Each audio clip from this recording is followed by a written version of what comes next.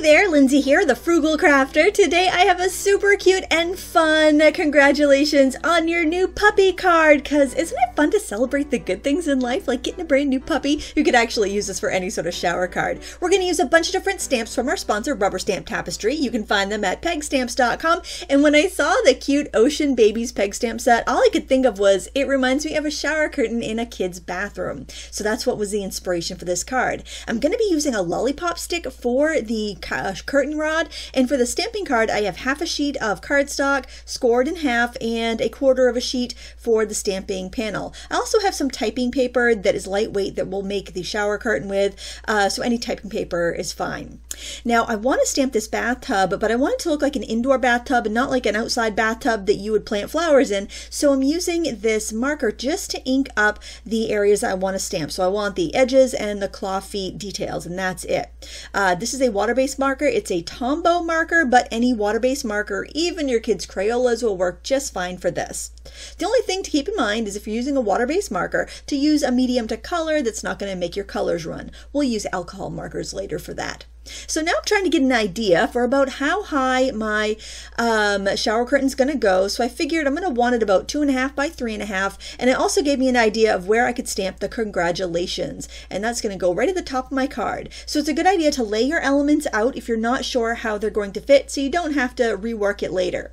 I have a couple of really pale shades of gray here, a cool gray 1 and a cool gray 3. And these are Azura markers by uh, Royal and Langnickel. They are, uh, you might be able to find them online, but I've seen them a lot, or I should say people have told me they find them at uh, Tuesday morning and they're very affordable. So if you see them, they're a great buy if you can find them anywhere. And I'm just doing a little bit of shading on the bathtub because I want it to look like a white porcelain bathtub. And then I'm just doing a little bit of shading underneath the bathtub just to give it a little bit of atmosphere. This card is really very simple, so um, anything I can do just to make it, you know, perk it up a little bit is going to help. Now this next thing I'm going to do is really fun. I'm going to make some bubbles and I'm just going to use the perfect layering circles to stamp a bunch of circles in the um, in the sky. Now here, this is where I'm making a mistake. I started stamping the paw print thinking I had the tiniest circle and then if if you heard the real live recording of this, you would have heard me gasp at that point. But I figured well, we'll have some paw print bubbles floating around too, and that'll be just fine. So you may see a few paw prints uh, in the bubbles, um, but that's okay. I'm using some pearlescent chalks because I thought that would make a really natural looking bubble to kind of have that iridescence to it. And I'm using purple, pinks, and blues for that. you can see a few paw prints. I actually think they look really charming, so I'm not upset about it. It was a happy accident.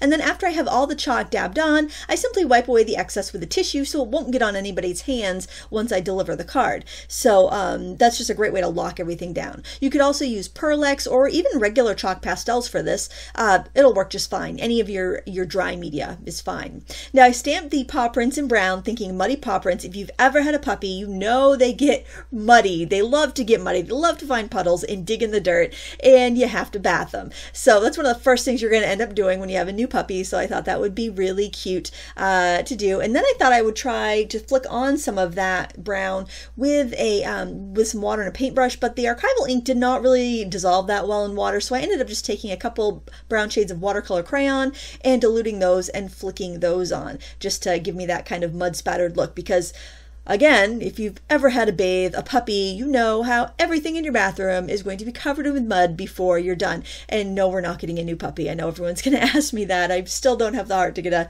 get another dog, but um, but I but I just love to love on other people's little dogs.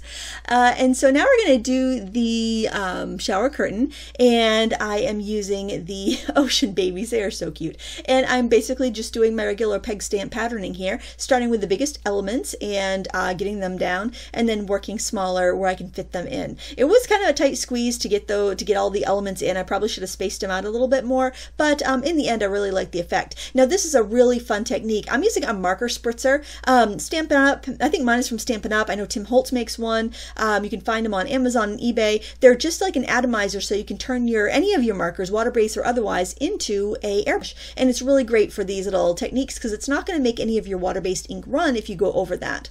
And I just used a regular old office punch to make the holes that I could thread my uh, lollipop stick through so I could have curtains. I thought about doing some big eyelets here, but I don't think the lollipop stick would have fit through them, and I think it would just add too much um, rigidity and it might be difficult to mail the card. And then I'm just kind of molding the paper a little bit with my fingers so it has a little bit of uh, softness and pliability to it, so it looks like a loose shower curtain.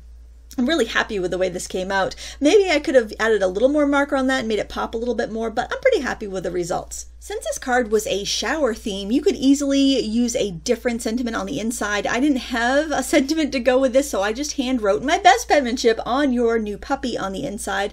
But you could obviously do a non-muddy shower on the front of your card and have a wedding shower or a baby shower and um, alter up the imagery to uh, go with that theme. So it's just any sort of shower theme you could do that with. Now this was an individual peg stamp, this cute little puppy dog, and I put that that one on the inside of the card. There's also a more cartoony puppy dog from the Happy Puppy set where I got the uh, paw prints from. So I'll link both of those up below in case you prefer something else. And there, look at that. I make mistakes and I stamp on the back side of my card. So there you can see the first try that didn't come out so well. So if you're feeling like you never do it perfectly, well, hey, don't feel bad because neither do I.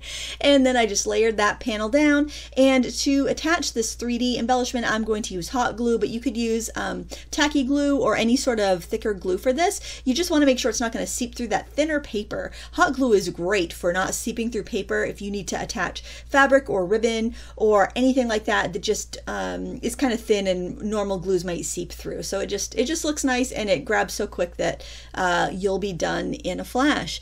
And that's pretty much it. I hope you enjoyed this tutorial. I know it's kind of a you know odd occasion, but sometimes those are the funnest cards to make. I just put a little love washi tape on the inside because I did not have any dog themed washi tape. Can you even believe it? I know, right? Please visit our, visit our sponsor pegstamps.com to find the supplies I used today. Give me a thumbs up if you like this video, and until next time, happy crafting!